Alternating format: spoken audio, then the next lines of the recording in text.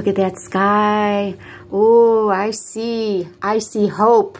I see what I'm looking up for. Jesus Christ, our blessed hope. Oh my God, Jesus is our blessed hope. Looking up for the glorious appearing of that great God and Savior, Jesus Christ, to meet us in the clouds in the air. Any moment now. Any moment now, Jesus Christ, our King of kings and Lord of lords, is coming. He's going to break through those clouds with the sound of the trumpet and the voice of the archangel, and the dead in Christ shall rise first. Then we who are alive and remain shall be caught up together with them in the clouds in the air to meet the Lord in the air. And so shall we ever be with our Lord. Hallelujah, hallelujah. Wow, look at those clouds. We're going to see our King, our beautiful King, face to beautiful face.